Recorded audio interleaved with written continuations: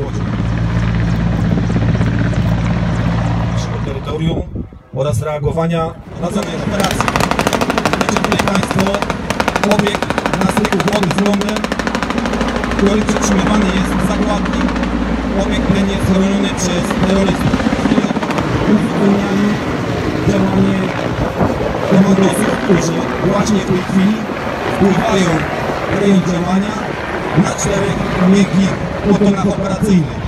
Są to pontony, pontony typu FC-470. Przechodzą w rejon budynku, w którym przytrzymywany jest zakładnik. Możecie Państwo zwrócić uwagę, że z tyłu dwa pontony ubezpieczają działanie tych, którzy wyszli na ląd. Jednocześnie przez cały czas ten rząd wspiera nasze działanie. Podejście do budynku zostało zrealizowane bardzo szybko i zobaczyć swoje siły.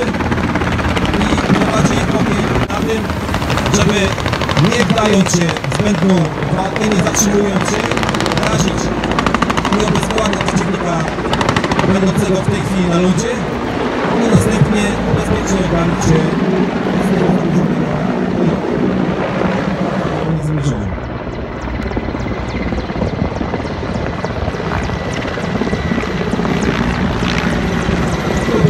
mogli Państwo zaobserwować drugą część pokazu dynamicznego polegającego na wysadzowaniu żołnierzy z pokładu śmigłowca do wody poprzez skok do wody